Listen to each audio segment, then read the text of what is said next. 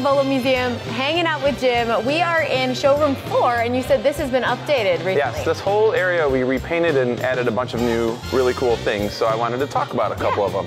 Behind you, we have Duesenbergs. Duesenbergs, you know the phrase "it's a doozy." Yes. That came from the Duesenbergs. These came out during the Great Depression. Europe at the time was making all these amazing cars for all these rich people, and rich people in the states really didn't have much besides Model Ts and some other stuff. And during the Great Depression, two guys from Indiana created the Duesenberg. These are like cartoon cars, like Yeah. Cruella de Vil, just amazing cars. At the time, you had a choice of either buying five houses, 50 Model Ts or one Duesenberg. Just to say, now they're worth you know at least a half a million dollars each.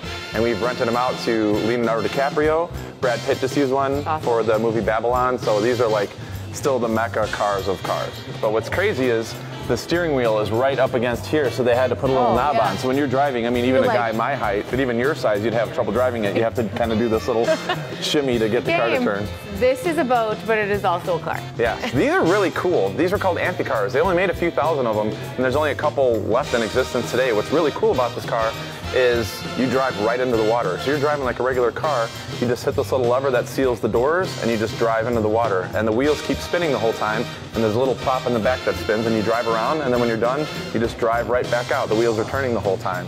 And a fun story about this, Lyndon B. Johnson, one of the presidents, had one of these at his property, and he'd have his friends over, and he'd be driving around, and all of a sudden be like, oh, the brakes! and like everybody would freak out, and he'd drive into the lake and then drive away.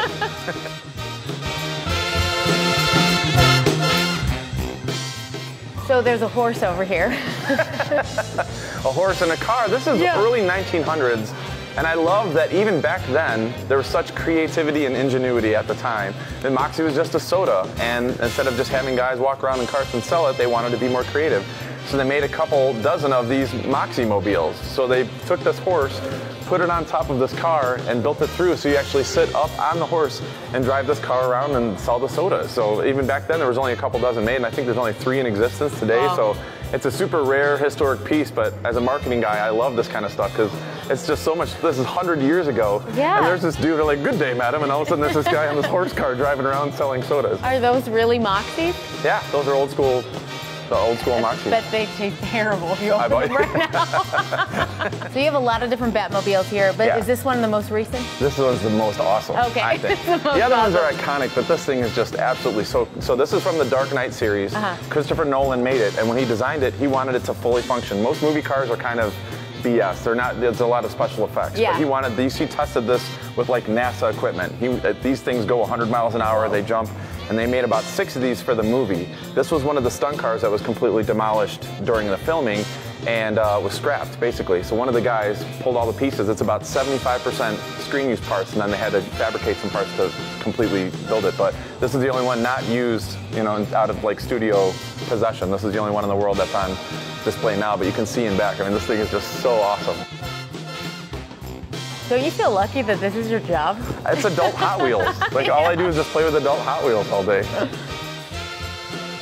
You guys have had these forever? Yeah, yeah, we've had these for a while. Is this the only uh, Mold-A-Ramas you have here? There's, um, I think the Museum of Science and Industry might have some. Other than that, they're super rare. There's not many left in the world, especially functional. It takes a lot Yeah. of. Uh, we have a guy named Terry on staff, and all he does this job is just to go around and fix all these animatronics and kiddie rides and this stuff. And you can't just get these parts on Amazon. They're really hard to find.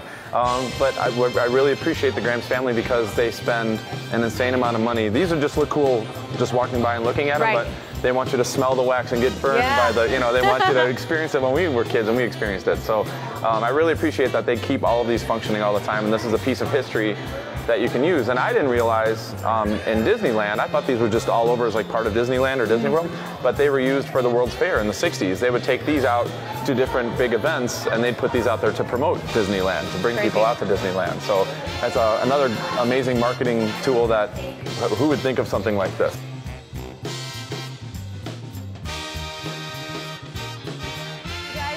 Are doing tours? Are you still doing tours? We're not doing tours now, Okay. we're revamping. So Okay. this summer we're gonna have haunted tours, we're gonna have halfway to Halloween tours with monster trucks and big inflatables. Awesome. And we're still during the winter, a lot of museums are closed. We're still open every single day from 10 a.m. to 5 p.m. All right, we get all the details on your website, which Yep, is volofun.com. We always have so much fun in Volo. I love my little Mold-A-Rama Donald Duck. Don't forget to answer our Fan of the Week question on our Facebook page. You might win tickets to the Volo Museum. A game day's next with our video producer Tyler. We'll be right back.